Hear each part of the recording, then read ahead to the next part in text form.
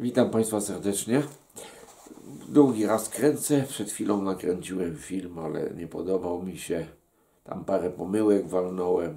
Ja lubię z kapelusza, lubię improwizować, nie znoszę jakiegoś czytania z karteczki, no i, i zawsze gdzieś tam w czymś się machnę. Proszę Państwa, rozmawialiśmy sobie ostatnio o, o duchowości, o ludziach ducha. Pytaliśmy się, dlaczego powinniśmy ludzi ducha szukać. E, proszę Państwa, wpadła mi kiedyś w ręce taka gruba książka. Jeden z, z sympatyków, jeden z widzów mi ją podarował. Książka ma ponad 2000 stron. Jest zatytułowana Księga Uranti. Jest tutaj z nagłówku międzynarodowy bestseller. Proszę Państwa, większych głupot w życiu nie czytałem.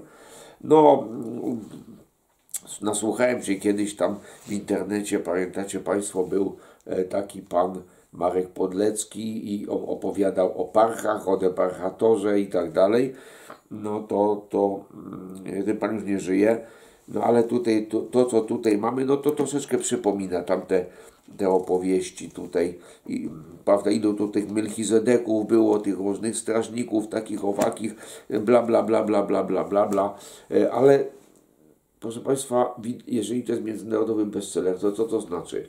To znaczy, że komuś się chciało 2000 stron przeczytać i y, niesamowitych głupot. Proszę Państwa, ludzie nie mają pojęcia o zdrowej duchowości i dlatego takie rzeczy czytają. I dlatego wchodzą w internet i słuchają różnych y, ludzi, którzy brednie nieprawdopodobne wygadują. Koleżanka mi sporo linków przysłała. Ja sobie tam przeglądałem te różne wystąpienia tych różnych specjalistów od Pana Boga. E, takich, takich oczywiście samozwańczych. I, i oni, no, oni, oni będą nas przebudzać, będą nam świadomość otwierać, prawda, bo tak, bo my jesteśmy tacy głupi, nic nie wiemy, oni muszą nas budzić duchowo. E, jak zobaczymy gdzieś, że u, u, kogoś gdzieś tam na jakimś kanale internetowym jest tam podpisane, że jest to jakiś tam przy, przy, e, przewodnik duchowy, jakiś tam, że e, budzi świadomość, że to, że tamto, dajmy sobie spokój z tymi ludźmi, bo i najczęściej głupoty wygadują. No, jeden pan taki, prawda, e, nie będę nazwisk wymieniał, nie chcę ich reklamować. No, mówi, że ludzie się modlą, ale ale, ale nieskutecznie, bo się modlą do, do niewłaściwego Boga. To, to, to znaczy, że do niewłaściwego Boga się modlą? Ano, dlatego, że y, no nie wiadomo, bo, bo Bóg ma na imię, konkretne ma Bóg imię i trzeba go tym imieniem wzywać. No, świadkowie Jehowy twierdzą, że trzeba używać imienia Jehowa. On twierdzi, że nie ani Jachwa, ani Jehowa, tylko ja jestem. Bo że Bóg powiedział, ja jestem. Nie, proszę Państwa, Bóg powiedział, jestem, który jestem. Echie, Asher, Echie, które też tłumaczy się jako ja jestem ten będący. To podkreśla tą, tą tą odwieczność Boga. Ja jestem będący. I proszę Państwa, i to nie jest wcale żadne imię Boga. To nie jest imię Boga. Bóg powiedział o sobie, że jest będący, ale nie powiedział, jak ma na imię. Mojżesz się domagał e, od Pana Boga, żeby mu powiedział, jak ma na imię, ale, ale, ale Pan Bóg spytał Mojżesza, a po co Ci moje imię? A po co Ci moje imię? Bóg e, nie ma imienia. Nie jest człowiekiem, ani żadną istotą, którą trzeba koniecznie nazywać imieniem. Jezus o nim mówił Ojciec mój, a kazał nam się modlić Ojcze nasz, podkreślając, że jesteśmy rodziną. Tak.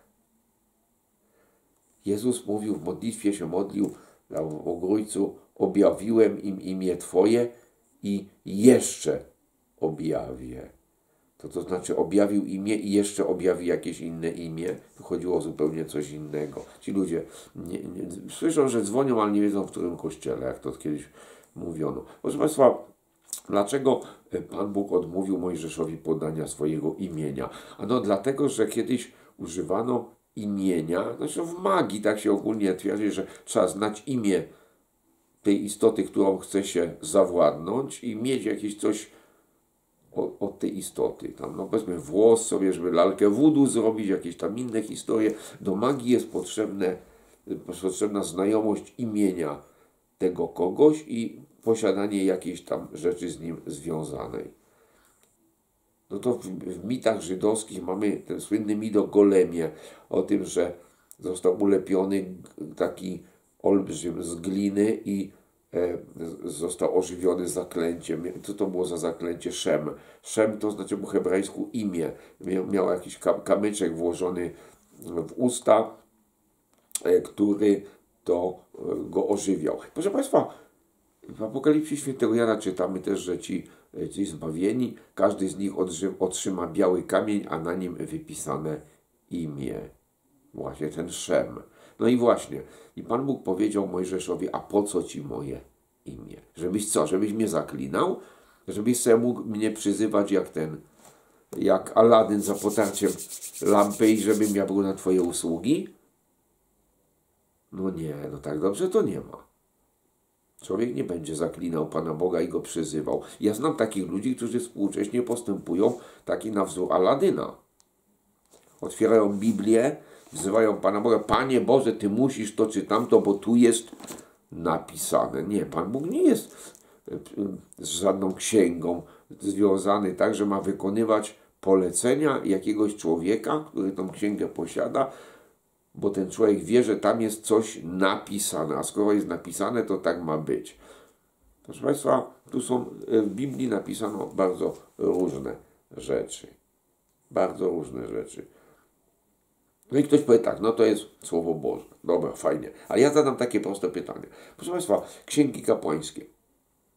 Masa przepisów rytualnych. Jak ma być wyglądać świątynia, jak ma być zbudowana, gdzie ma być ołtarz, jakie ma, mają być rozmiary tego czy tamtego, jakie ofiary składać, jak te ofiary przyrządzać, jak je składać. Fajnie. A potem czytamy u Izajasza na przykład. A co mi po mnóstwie waszych ofiar? Ja mam dość waszych świąt, waszych nowiów, nienawidzę waszych świąt, waszych całopaleń i tak dalej. Gdybym był głodny, to bym was nie prosił, to bym się was nie pytał, bo moje jest to wszystko. Ten świat jest mój. Gdybym był głodny, to bym was nie prosił o krowę, o byka, o gołąbka, o królika, o cokolwiek. Coż mi po mnóstwie waszych ofiar. A tutaj, czyli mamy z jednej strony w księgach kapłańskich Słowo Boże, tak? Tu, tu zrobisz to, zrobisz tamto, tu oddzielisz kości od mięsa, od kości, to, to, to, to, tu złożysz, to spalisz, tam to ugotujesz. A tutaj Pan Bóg mówi, cóż mi po mnóstwie waszych ofiar. Nienawidzę waszych świąt, waszych całopal i tak dalej, i tak dalej. No to które słowo jest Słowem Bożym? Czy to, które nakazuje składać te ofiary krwawe, czy czy to, które mówi, że Pan Bóg tego wszystkiego nie potrzebuje. Cóż mi po tym wszystkim? Lud ten czci mnie tylko ustami, ale serce jego jest daleko ode mnie. Księgi kapłańskie zupełnie co innego mówią niż księgi prorockie. To jest do przemyślenia. I teraz a propos tych mędrców internetowych. No dobra, jeżeli ktoś nam od razu mówi tak, słuchajcie, poszukujecie duchowości, poszukujecie ducha, dobrze, dobrze robicie, dobrze robicie, tylko nie szukajcie go tam, nie szukajcie go w kościele chrześcijańskim, bo oni was oszukują. Bo oni wam nie mówią, że Jezus to gdzieś tam się uczył w Indiach, że miał żonę Marię Magdalenę, że miał dzieci z nią i tak dalej. I oni wam o tym nie mówią, oni to utajniają. Tak, proszę Państwa, jak usłyszymy takie brednie, od razu dziękujemy tym Panom. Od razu im dziękujemy. Albo, że były też inne Ewangelie, które Kościół starannie ukrywa, bo co innego mówią o Jezusie i tak dalej, i tak dalej. Proszę Państwa, jeżeli ktoś nam tak mówi, podziękujmy temu Panu, bo on tych Ewangelii kanonicznych z pewnością nie zna, y, a zawraca Wam głowę jakimiś bajdami, które zostały odrzucone dlatego, że uznano je za bajdy uznane jest za bajdy. Jak, na jakiej drodze eliminowano literaturę taką, a wybierano taką, tworzono potem z niej e, te, to, co się składa na Pismo Święte Nowego Testamentu, bo mówimy o Nowym Testamencie, w tej chwili Stary nas nie interesuje. I proszę Państwa, to był pewien proces, w którym kierowano się pewnymi zasadami. Dlaczego Na jakiej podstawie odrzucamy tą literaturę, a przyjmujemy tą literaturę? Dlaczego tą literaturę uznajemy za świętą natchnioną, a tej nie uznajemy za świętą i natchnioną? To są konkretne rzeczy. Polecam książkę księdza profesora Kudasiewicza, Biblia, historia, nauka i tam się tego wszystkiego dowiemy. Ja to musiałbym za długo gadać. Tam się tego wszystkiego dowiemy. Jak to się działo, dlaczego odrzucano takie rzeczy, dlaczego odrzucano takie rzeczy. Jest też książka, no gruba książka protestanckiego teologa Josha McDowella, e, po angielsku to no, jest tytuł Evidence that Demand a Verdict. Ja nie, nie, nie, nie znam polskiego tytułu, ja to znam po angielsku, tę książkę. To właśnie tam jest w tym pierwszym tomie bardzo dużo na ten temat, jak powstawał Nowy Testament, jak powstawało Pismo Święte. Się okazuje, że te teksty, z których Pismo Święte poskładano, to są bliższe tamtym czasom Jezusowym niż pisma, którymi dysponujemy, te odpisy pism Arystotelesa. O wiele, o wiele bliższe są czasom Jezusa niż tamte pisma czasom Arystotelesa. I Arystotelesa się uznaje, ale tamtego się nie uznaje. E, cały mm, od połowy XVIII wieku, proszę Państwa, e, tak zwana krytyka biblijna ośmieszała Stary Testament, szczególnie Stary Testament, ale Nowy też, ale Nowy też. Nawet rzucono hasło, że trzeba zdemitologizować Biblię, czyli wyrzucić z Biblii wszystko, co nie zgadza się z tak zwanymi prawami natury. No bo powiedziano w XVIII wieku, że Bóg e, stworzywszy świat, nadał temu światu pewne prawa, które są niezmienne na wieki wieków i nawet już Pan Bóg ich zmienić nie może.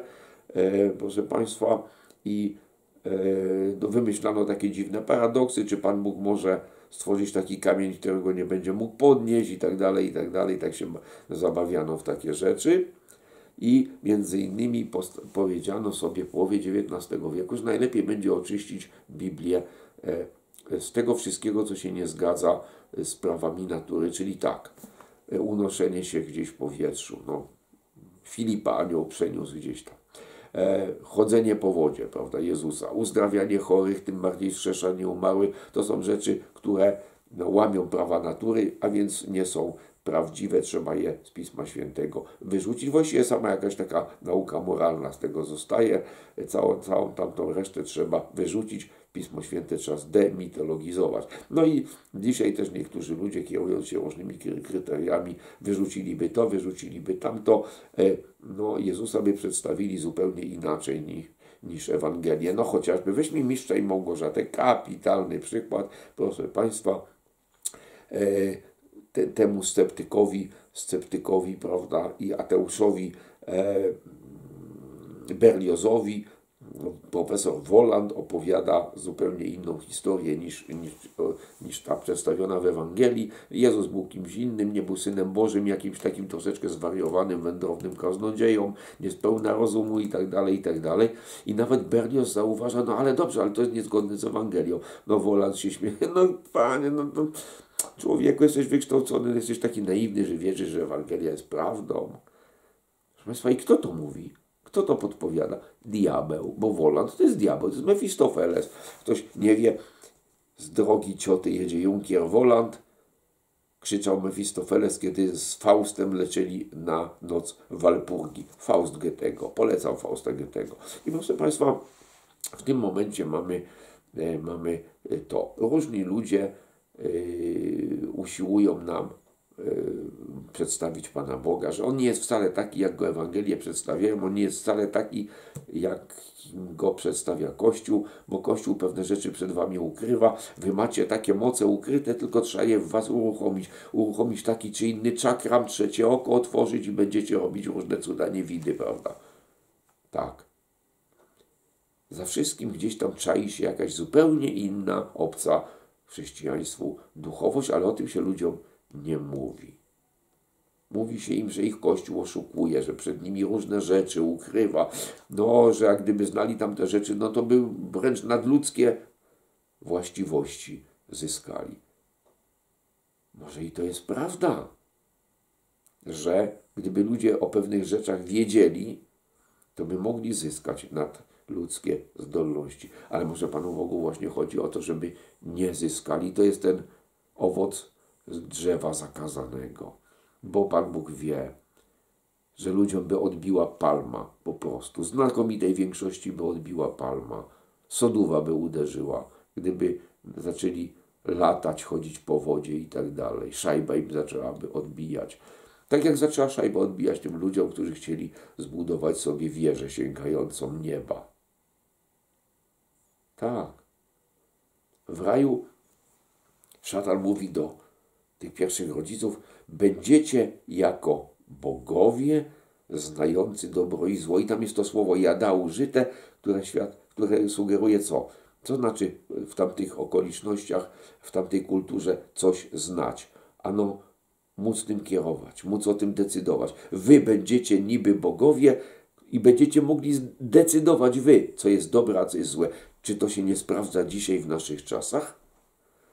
Jacyś w demokratycznym głosowaniu przegłosowują, co jest prawdą, a co jest nieprawdą. Prawda jest nienegocjowalna, proszę Państwa.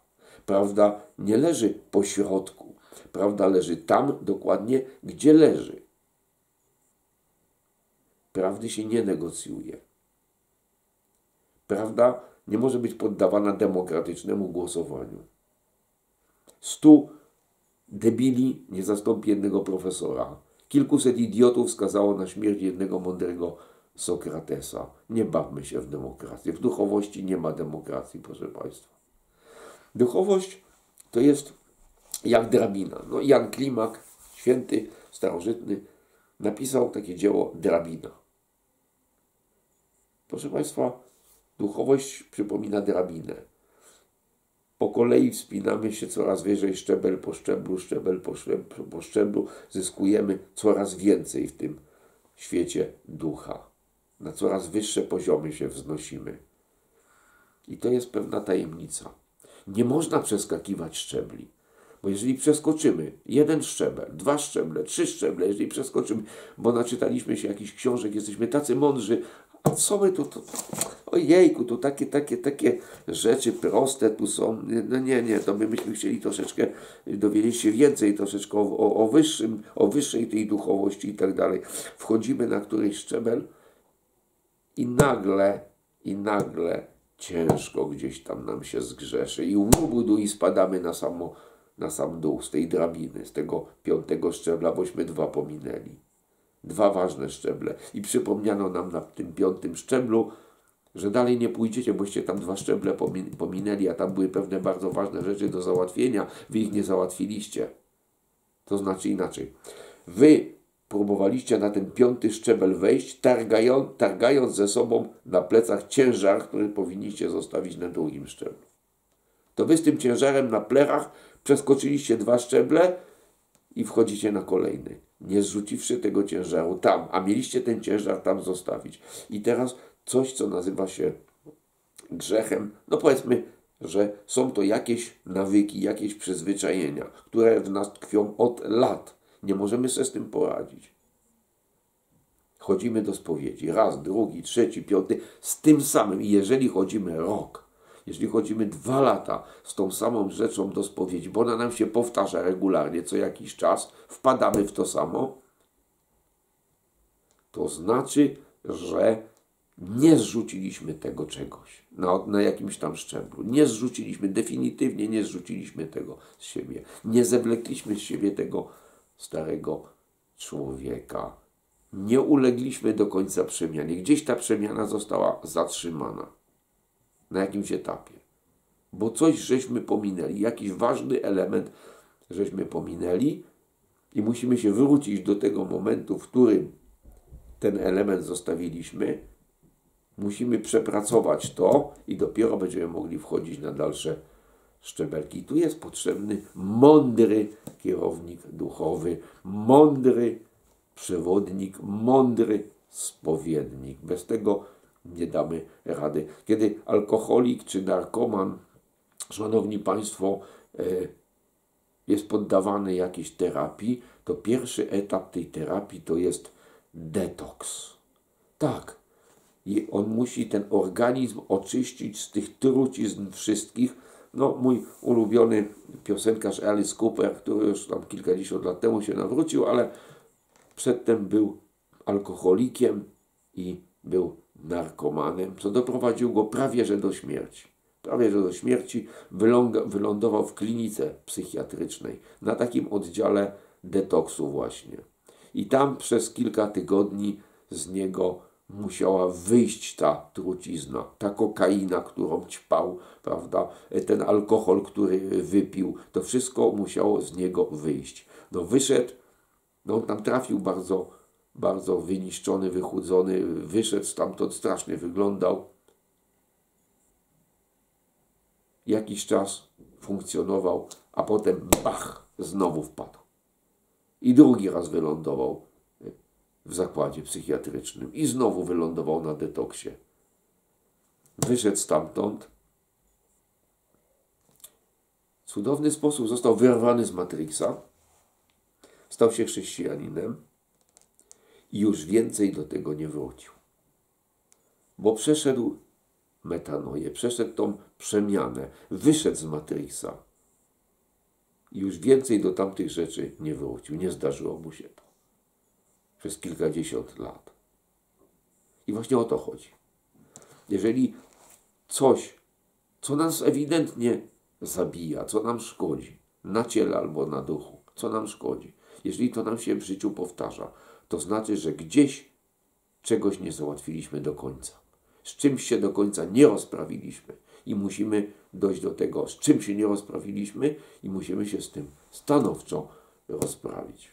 Ja pięć lat nie palę. Nie wiem, jak to się stało, że przestałem palić. Nie walczyłem z paleniem. Kiedyś, dawno temu walczyłem, wracałem, walczyłem, wracałem. Pięć lat temu przestałem palić, po prostu przestałem. Nie wiem, dlaczego przestałem. Nie wiem, w jaki sposób to się stało, że nie pociągnęło mnie, że nie kupiłem paczki papierosów, nie zapaliłem kolejnego papierosa, od kolegi nie wziąłem palącego, nie wziąłem papierosa. Nie wiem, dlaczego tak się stało że, po, że poczułem jakieś takie obrzydzenie, prawda, do, do, do, do tego dymu, do, do wdychania dymu i tak dalej. Tak. Nie wiem, jak to się stało. Nie powiem Państwu. Nie miałem żadnego widzenia, nie miałem żadnego objawienia. Matka Boska mi się nie pokazała, Pan Jezus mi się nie pokazał, ani żaden święty, ani na jawie, ani we śnie. Odeszło. Jak odeszło, nie wiem. Dziękuję Panu Bogu za to, ale jak to się stało, nie wiem. I właśnie Proszę Państwa, bójmy się ludzi, którzy wszystko wiedzą, którzy mają odpowiedź na każde pytanie dotyczące duchowości, którzy nie są w stanie wydusić z siebie słowa nie wiem. Bójmy się takich ludzi. Unikajmy ich, bo oni nas zwiodą na manowce. Ja bardzo wielu rzeczy nie wiem. Nie wstydzę się do tego przyznać. Nie wiem, po prostu nie wiem. Ja mam ludzki umysł. Jak ja, człowiek, swoim przyrodzonym rozumem mogę przeniknąć rzeczywistości przekraczające wszelkie wyobrażenie. Jezus powiedział, ani ucho nie słyszało, ani oko nie widziało. I tak. Jak ja mogę? Bo jakiś filozof, bo jakiś teolog kiedyś dawno temu powiedział, że ponieważ Bóg jest najwyższym rozumem i obdarzył człowieka rozumem, na swój obraz i podobieństwo go stwarzając, to człowiek swoim rozumem przyrodzonym może przeniknąć rzeczywistości Boże. Spójrzmy zasłonę miłosierdzia. Nie chcę tak mówią, albo święty Tomasz powiedział, ale święty Tomasz nie powiedział, że człowiek swoim rozumem może wszystko przeniknąć. Nie. Rozum musi być oświecony wiarą, tak. I tak wszystkiego nie pozna. Teraz sam Chrystus powiedział. Święty Paweł o tym mówił często, święty Paweł o tym mówił. Teraz widzimy jakby w zwierciadle. Kiedyś będziemy widzieli. Na razie to widzimy jakby tylko odbicia. Jakby te cienie na, w jaskini platońskiej. My chcemy przeniknąć naszym przyrodzonym rozumem rzeczywistości Boże i jeszcze za pomocą narzędzia przez nas samych, ludzi wymyślonego przy pomocy logiki formalnej, chcemy stworzyć system jakiś, który zaszufladkujemy Pana Boga i rzeczywistości niewidzialne. Nie tylko, że poznamy, to jeszcze uporządkujemy i podamy jako system. No ludzie kochani, no. Nie wiem, trzymam się od takich rzeczy z daleka. Takie próby zaszufladkowania Pana Boga no, są dosyć śmieszne. No, są, mnie, mnie osobiście yy, śmieszą, ale one są tragiczne, dlatego że wielu ludzi się daje na takie rzeczy nabrać. Im mądrzej, tym głupiej. To Gombrowicz chyba zdaje się coś takiego powiedział. Ludzie, którzy nie mają pojęcia o tym, w jaki sposób powstawało Pismo Święte, niech sobie przeczytają księdza Kudasiewicza, Biblia, historia, nauka, powtarza. Niech sobie to przeczytają i niech zaczną myśleć. To nie to, że anioł się nachylił do ucha pisarza i mu podyktował. No są tacy, którzy w to wierzą. Proszę Państwa, czytają niektórzy ludzie, czytają Biblię, czytają, czytają i myślą, że już Pana Boga znają. Czytacie pisma, badacie pisma. Tak, są badacze Pisma Świętego, tak, badacze. I badają. I komentarze piszą. Charles Russell sześć chyba tomów komentarzy napisał. Badają. Badacie pisma, bo myślicie, że w nich macie żywot wieczny, wierzycie w to. A one dają od mnie świadectwo, mówi Jezus, te pisma. One na mnie wskazują, ostatecznie na mnie wskazują. Nikt nie przychodzi do Ojca, jak tylko przeze mnie. Ludzie myślą, że gdzieś tam znajdą furtkę, którą wejdą do Królestwa Bożego, że tak się brzydko wyrażę, na krzywy rej. Myśmy tak wchodzili. Było takie kino Łączność w Łodzi na ulicy Józefów. Uuu, lat temu 50. Więcej. I tam dookoła były pola i było żyto. I chłopaki mieli wytrych dorobiony i tam leciała kronika filmowa, było ciemno na sali, to boczne drzwi otwierali z tego żyta, prosto wychodzili i bez biletu bocznymi drzwiami wchodzili i oglądali sobie film. Wchodzili, jak to się mówiło, na krzywy rej. Nie ma tak, proszę Państwa. W 1978 roku koncertował w Polsce mój ulubiony wówczas zespół Slade. Kupiłem sobie bilet, a potem miałem koszmary. W nocy śniło mi się, że idę na koncert, podchodzę do tego, który sprawdza bilety i się okazuje, że nie mam biletu, że gdzieś mi zginął bilet. Przerażony, zlany potem się budziłem. Ten bilet postawiłem sobie na szafce nocnej koło tapczanu i jak się budziłem w nocy, to zerkałem na niego, świeciłem latarką. Aha, bilet jest w porządku. Proszę Państwa, bez biletu bym się na ten koncert nie dostał, bo naprawdę szczelnie wtedy wszystko było obstawione. I ja w życiu przed stanem wojennym tyle milicji nie widziałem. Wszystko było szczelnie obstawione i bilety sprawdzano. I nikt się bez tego biletu nie dostał. I tak samo jest z tym, co Biblia nazywa Królestwem Bożym czy Królestwem Niebieskim. Bez biletu nikt nie wejdzie. Na krzywy ryj nikt nie wejdzie. A Jezus mówi: Ja jestem bramą dla owiec. Ja jestem bramą.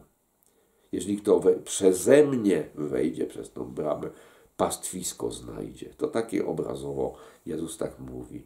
Ja jestem bramą dla owiec. Ja jestem drogą, prawdą i życiem i nikt do Ojca nie przychodzi, jak uwaga, tylko przeze mnie. Nie przez Buddę, nie przez Mahometa, tylko przeze mnie. Nie przez, te, nie przez matkę, nie przez takiego czy innego świętego, tylko przeze mnie. Jezus mówi: Ja jestem światłością świata. Tak. Kto idzie za mną, uwaga, za mną, nie za Buddą, nie za Mahometem, nie za Kryszną, kto idzie za mną, nie będzie chodził w ciemności. Ludzie chodzą za gazetą taką czy inną, za telewizorem, za tym, za tamtym, no i chodzą, gdzie chodzą. Taki rysunek był w internecie, pamiętam. Schody do nieba zespołu Led Zeppelin, schody do nieba, a z drugiej strony ACDC Highway to Hell, czyli autostrada do piekła. Fajnie. To też jest powiedziane. Wąska i stroma jest ścieżka prowadząca do tego zbawienia, a szeroka droga jest prowadząca na zatracenie, a wielu nią idzie. I w Ewangelii jest wyraźnie powiedziane, że wielu jest powołanych, niewielu wybranych i niewielu tylko dostanie się tam do tego Królestwa Bożego. Niewielu się dostanie. Nie ma hurtu, nie ma to, że ciachu machu, prawda, i, i, i już do nieba sobie pójdzie, bo ktoś nad nim jakiś tam gest wykona, pokropi święconą wodą, na trumnę rzuci garść ziemi i nagle ciachu machu, siu, fajnie. I w wielu filmach, w wielu filmach teraz współczesnych po prostu sobie ktoś tam odchodzi, jakaś światło widzi i sobie odchodzi i się nic nie mówi o tym, co, co on w życiu robił i tak dalej, czy jest godzien tam weźmie, ale w Ewangeliach czytamy, w wielu miejscach czytamy i w listach czytamy, że, że no, z pewnym bagażem to my tam nie wejdziemy. Musimy ten bagaż tu zostawić na ziemi. Musimy się ze wszystkiego rozliczyć. Ciało i krew nie ujrzą Królestwa Bożego. Tak mówi Nowy Testament. A co to jest to ciało i krew? No to jest ta nasza stara natura. Ta natura, w której my żyliśmy, ten nasz, to nasze obciążenie matrixowe. Pamiętajmy tą scenę, ten Neo, który został wydobyty z tego Matrixa, wyrwany z tych macek i tak dalej, i tak dalej, on jest bezradny. On ląduje w tym nowym świecie, tam na tej, na tej stacji zwanej Syjonem, tak? I on jest absolutnie bezradny. On leży gdzieś tam na jakiejś noszach, gdzieś tam na jakimś wózku, ma poprzypinane masę tych różnych takich rzeczy i ma potem masę igiełek w niego wbijają i tak dalej, i tak dalej. On jest bezradny. Jego organizm nigdy prawidłowo nie funkcjonował. Muszą być ożywione wszystkie nerwy, pobudzone do życia wszystkie mięśnie i tak dalej, i tak dalej. I dopiero po tym stopniowo, stopniowo, stopniowo przychodzi czas na naukę tego czy tamtego. Najpierw musi zostać odbudowany jego organizm. Człowiek, który żył dotychczas, żył w tym matriksie duchowym, on w tej nowej rzeczywistości poza matriksem jest nowicjuszem. On nie wie nic o tamtym świecie, on nie wie nic o tamtej rzeczywistości i on nie potrafi w tej nowej rzeczywistości się odnaleźć. Najpierw musi być detoks, czyli zrzucić się to wszystko G, prawda? Zrzucić z siebie to wszystko i to jest ten obraz świętego Pawła. Zrzućcie z siebie starego człowieka wraz z uczynkami jego, a przeobleczcie się w nowego człowieka, w którym mieszka sprawiedliwość. To słowo sprawiedliwość nie dotyczy właśnie sądu jakiegoś tam i tak dalej, tylko chodzi o to, człowiek sprawiedliwy to jest człowiek Boży, bogobojny, Boży człowiek, kierujący się w życiu Bożą nauką, Bożymi przykazaniami i tak dalej, i tak. Tak. Zrzućcie najpierw ten pierwszy szczebel drabiny, zrzucić siebie, zostawić. Jeżeli wstępujemy na drabinę, to musimy zostawić wszelkie ciężary, bo możemy z tymi ciężarami przejść dwa stopnie, ale na, na trzecim już nie damy rady, spadniemy. Musimy zostawić to. I tu jest potrzebny właśnie ten człowiek ducha. Tu jest potrzebny ten Anamkara po celtycku. Cudowna książka Johna O'Donoghue, którą ja wydałem kiedyś jako wydawca. Anamkara po gelicku znaczy przyjaciel duszy. Potrzebujemy takiego człowieka. Szukajmy takich ludzi. Najczęściej takich można znaleźć w zakonach. Tak. Ja bardzo lubię duchowość akurat karmelitańską, jest, jest, jeśli chodzi o duchowość łacińską. Szukajmy. Szukajcie, a znajdziecie. Trzeba szukać. Możemy nie znaleźć bardzo wielu ludzi ducha, później słynących jako ludzie ducha, w tym początkowym swoim okresie szukało nauczyciela i nie mogło go znaleźć. I tak było z wieloma późniejszymi starcami z Zatosu. przyszli na Atos, myśleli, że tam nie wiadomo jakie cuda nie widy, a tam się okazało, że był upadek akurat życia duchowego, nie mogli znaleźć mistrza. I sami dla siebie musieli być mistrzami. Wiele lat, wiele lat się szarpiąc, wiele lat metodą prób i błędów dochodząc do pewnych osiągnięć ducha, że tak się wyrażę. Metodą prób i błędów. Ile razy upadali, ile razy dostawali w kość, ale zawsze się podnosili, Panie Boże. Właśnie to zaufanie do Pana Boga, że jeżeli już nas Pan Bóg z tego Matrixa wyciągnął, to On nas nie wypuści ze swojej ręki. Zresztą nikt Was nie wyrwie z ręki mojej, mówi Jezus. Nikt Was nie wyrwie. Dlaczego ludzie są chrześcijanami, a potem nagle się okazuje, że gdzieś odpadają, nie wiadomo gdzie. Dlaczego? Bo ktoś ich wyrwał z ręki Jezusa? Nie. Proszę Państwa, i tu jest ta tajemnica. Człowiek jest istotą obdarzoną wolną wolą. Nikt nas nie wyrwie z ręki Pana Boga, jeżeli my sami na to się nie zgodzimy, jeżeli na to nie pozwolimy. To my musimy wyrazić zgodę. To my musimy symbolicznie tak podpisać ten cyrograf, sprzedać się za karierę, za pieniądze, za zdrowie, za powodzenie, za cokolwiek tutaj doczesnego, co przemija z czasem. My nie wiemy. Często ludzie zapominają, że nic nie trwa. Taka piosenka była nawet. Nic nie może przecież wiecznie trwać. Tak.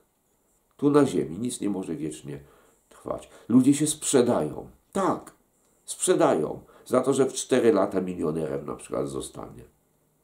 Że nagle kariera się otworzy jakaś, nie wiem, estradowa, taka czy owaka, ludzie się sprzedają, albo polityczna. Zostanie senatorem, posłem, politykiem, ministrem może i często zapomina o swoich ideałach, sprzedaje się. Ten człowiek świadomie wybrał. Jeżeli człowiek się opiera, zapiera, chce trwać przy Bogu, nikt go nie wyrwie z ręki Bożej. A jeżeli człowiek z własnej nieprzymuszonej woli wybierze coś tam, to Pan Bóg go nie będzie trzymał za kołnierz ani na smyczy. Nie. Jesteś wolny. Rób co chcesz, ale pamiętaj, zapłacisz za to. Czytamy Księgę Mądrości, czytamy przypowieści, czytamy Księgę Kocheleta, co tam jest. Co tam jest napisane? O młodzieńcu na przykład. Jest napisane. No używaj życia, ciesz się tą swoją młodością, ale pamiętaj, że Pan Bóg kiedyś pozwie cię na sąd i że będziesz rozliczony. Nie ma nic za darmo. Nothing's free. Piękna piosenka Alisa Coopera Gimme z płyty The Brutal Planet. Dam ci to, dam ci to, dam ci karierę, dam ci pieniądze, dam ci to. A na końcu mówi, wiesz co, ale ja nie lubię oszukiwać ludzi. Nie ma nic za darmo. Nothing's free. There's a price, mówi takim głosem. Jest cena, na wszystko jest cena. Nothing's free. Nie ma nic za darmo. Ludzie sami wybierają. W księdze Ezechiela piękny obraz. Oto kładę dziś przed Tobą życie i śmierć, błogosławieństwo i przekleństwo. Wybierz życie. Wybierz. Nie to, że ktoś potem się będzie tłumaczył, a ja to na przykład grzeszę, ćpam, czy tam co innego robię, bo widocznie taka jest moja natura. Nieprawda. To jest kłamstwo.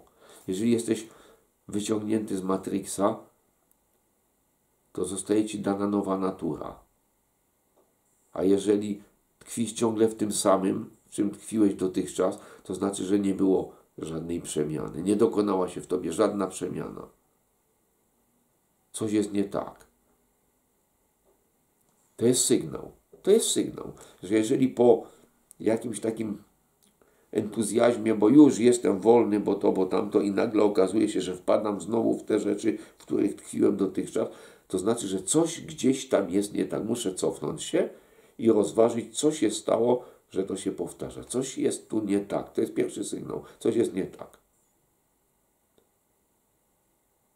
I proszę Państwa, to jest bardzo ważne, żeby się nie spieszyć. Nie czytać za dużo pobożnych książek, bo bardzo często pisali je ludzie, którzy mają za sobą kilkadziesiąt lat doświadczeń, a my byśmy chcieli, przeczytawszy taką książkę, mieć takie doświadczenie jak oni. Czyli przeskoczyć te ileś szczebli tej drabiny. Tego się nie da zrobić. Musimy się cieszyć tym, co mamy. Tym, co nam Pan Bóg daje na co dzień. Jeżeli nauczymy się odrzucać rzeczy, zobaczymy, jaką to radość człowiekowi przynosi, że czuje się uwolniony z tego, z tego, z tego, z tego, tak jak z tych papierosów. Nie podejmowałem żadnych wielkich wysiłków z tym rzucaniem palenia. Żadnych tabletek nie łykałem, niczego. Po prostu przeszło jakoś. Dziękuję Panu Bogu. Czy mnie kusi, żeby zapalić? Nie. To znaczy inaczej. Kusi mnie czasami, żeby nabić sobie fajkę. Bo paliłem też fajkę długie lata. Żeby, ale do papierosów absolutnie mnie nie ciągnie. Kusi mnie czasami, żeby zapalić fajkę, żeby zapalić cygaro, bo też paliłem cygara. Ale potem sobie mówię, zaraz, zaraz, zaraz, a czy ty, człowieku, musisz tym dymem po prostu nasiąkać? Bo nawet jak się nie zaciągałem, tak, fajką człowiek się nie zaciąga, cygarem też się nie zaciąga, ale śluzówka wchłania. Śluzówka wchłania. Te, to, co jest zawarte w tym dymie papierosowym, dymie z cygara czy dymie z fajki. Ja się nie zaciągam, ale śluzówka to wchłania i to wchodzi do mojego krwiobiegu. Pan Bóg mnie od tego uwolnił w jakimś konkretnym celu, po to, żeby był wolny, żeby nic mnie nie wiązało. Inne rzeczy tak samo przechodzą, przechodzą, przechodzą. Detoks. I tu na to trzeba zwrócić na początku największą uwagę, na detoks. Zastanowić się dobrze, co mnie najbardziej zniewala, co mnie najbardziej wiąże, co mi najbardziej przeszkadza w duchowości i z tym trzeba się rozprawić. Jakie są sposoby? No, ludzie niedoświadczeni naczytają się jakichś książek, wysłuchają paru ludzi i powiedzą, a tam jakaś spowieść to jest głupota. Nie, proszę Państwa, to nie jest głupota, ja Wam to ręczę. Jeżeli traficie na mądrego spowiednika, na Bożego spowiednika, to Wam pomoże jako człowiek, ale jeżeli traficie nawet na przeciętnego, to wiedzcie jedną rzecz, że on jest tylko jakby pudłem rezonansowym, ale to Pan Bóg uderza w strunę. I Pan Bóg może przez niego zrobić wielkie rzeczy, chociaż on sam nie jest w stanie tego zrobić, bo jest za cienki bolek, że tak się wyrażę. Nie, nie pójdę do tego księdza, bo nie zgubi. Proszę Państwa, według nas być może, według nas, według naszego mniemania, ale Pan Bóg może przez niego nawet zadziałać. Tak jest. Tak jest, proszę Państwa. Dlatego, co to jest sakrament? Takie słowo sakrament.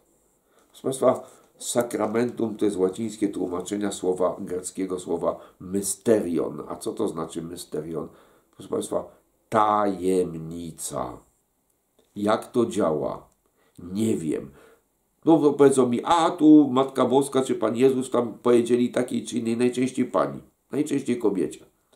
Jak to działa i tak dalej, i tak dalej. Ja nie słucham się tego wszystkiego, ja po prostu nie wiem. Takie rzeczy od samego początku chrześcijaństwa gdzieś tam były. Jakiś, ktoś miał jakieś widzenia, ktoś miał jakieś to, ktoś miał tamto. Nie wiem. I przeważnie kobiety.